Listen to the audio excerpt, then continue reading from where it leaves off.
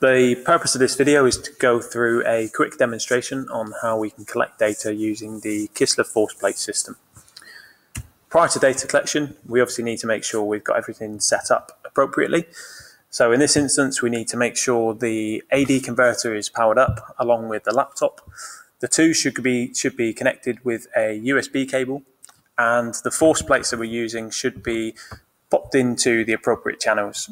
For example, if you're using one force plate, as we are in this instance, then it should be placed into channel one.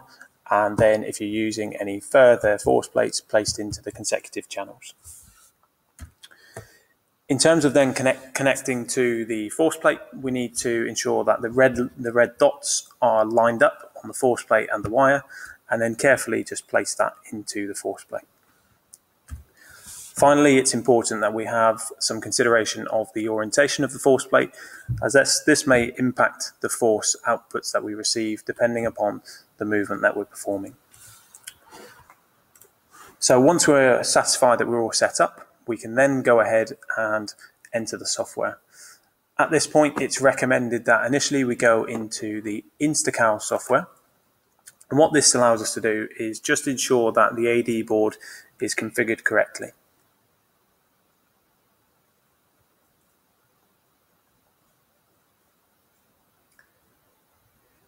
Okay, so we should have a board with a USB number down here. Um, sometimes it will pop up in a window and you just have to click OK. But in this instance, we'll highlight the board number 0 and go up to this option and hit that one to configure. The number of channels should be selected on 64 single-ended and if we then hit run. Okay, so the board's now configured properly, we can click OK and exit the Instacal software. We can now head into the BioWare software where we can acquire some force data.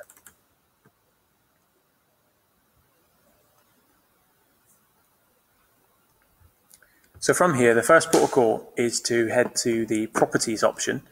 So the little tool icon up here. And from here, we can configure the force plate that we're going to use. So for example, we've got force plate one, two, and three, which within the lab are labeled up in the top corner of each force plate. Today, we're going to use force plate one. So I'm going to go ahead and add that to the active list. You'll notice that it pops up prompting us that this should be starting in channel one. So as I stated earlier, it's important that we that we make sure we plug that straight into channel one on the um, AD converter. If we were going to then add a second force plate, that would start at channel 9 because each channel on the AD converter contains eight individual sub-channels. So we're just going to go for the single force plate today. And so I'm satisfied we've got the active device selected. From here, we then go to the play icon with the cogs beneath, where we can configure the length of time and also the sampling frequency. So today we're going to go simply for a walk. Um, so I'm going to give my participant about six seconds to complete that. I'm going to sample at 1,000 hertz. So a lot of the research would be sampling between 500 and 1,000, um, with 1,000 the kind of go-to frequency. Prior to data collection now, we would generally weigh our participant, or the other option is to weigh a known quantity. So we do have some calibration weights uh, totaling 20 kilograms in the lab, and that would give us an indication of how accurate the force reading is. Today we're going to go for a weighing of our participant. So hit weigh. It reads the voltage offsets initially, so we need to make sure the force plate is unloaded. It's currently fluctuating around the zero mark. We can change this to kilograms, newtons, etc. I'm now going to ask my participant to stand on and try and remain as stationary as possible.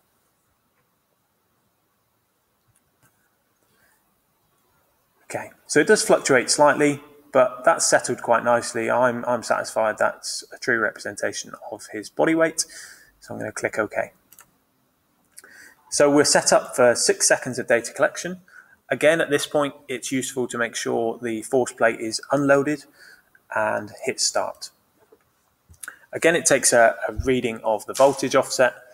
And as soon as we're ready, we can either hit enter on the key, keyboard or we can click OK. So I'm going to get my subject into position. Good. Okay. And our six seconds commence from now.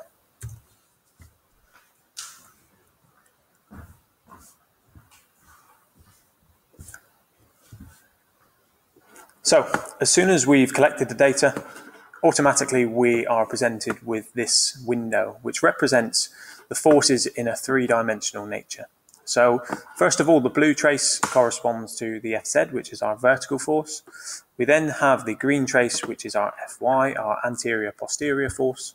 And then we have our Fx in red, which represents the medial lateral forces. Um, so what we could do, if we wanted to pinpoint exact numbers, we could simply go for a view statistics option. Um, so in this instance, we're capturing the whole of the, the contact period.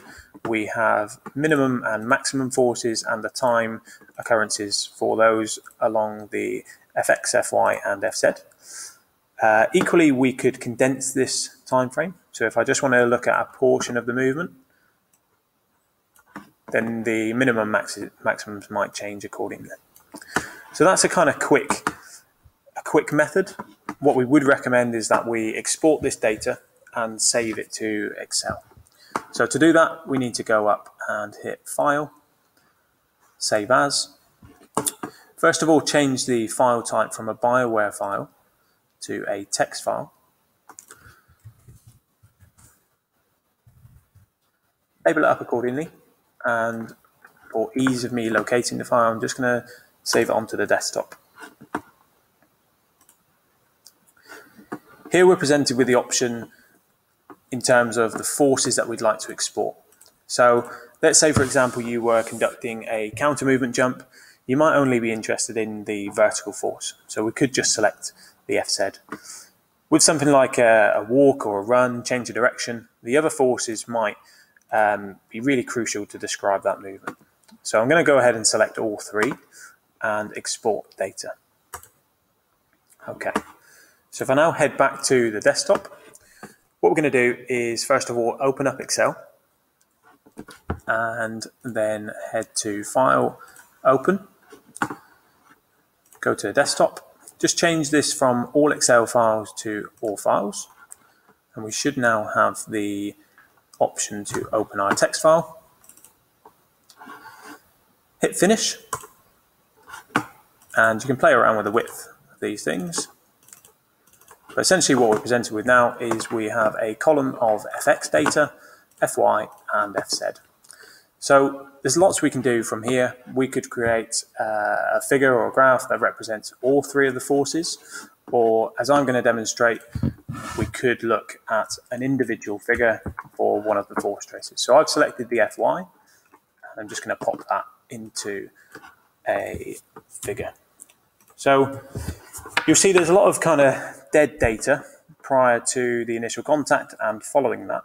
So the actual contact period is relatively low. So we could sift through the data, kind of delete some of this stuff beforehand, delete some of the stuff afterwards, just to condense that and make this figure more presentable. In terms of further analysis, we could look at the duration of certain stages of the gait.